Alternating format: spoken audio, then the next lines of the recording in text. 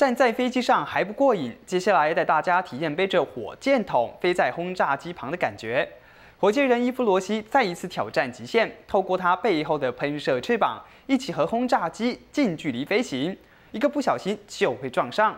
大家猜火箭人是飞在轰炸机的前面还是后面呢？火箭人伊夫罗西又完成什么创举呢？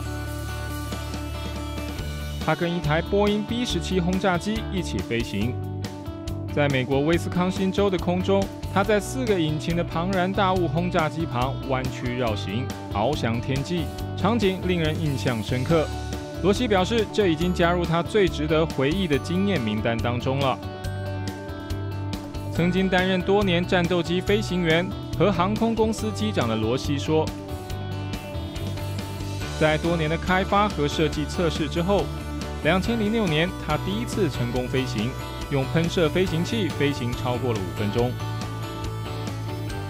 What I try is really to share, to inspire younger people, to say, hey, it did look completely impossible what I'm doing today, but through perseverance, through holding tight to my dream, yeah, I did success. So that's perhaps what I can say to younger generation, hold on tight to your dreams. Try. You have nothing to do, uh, to lose, to try.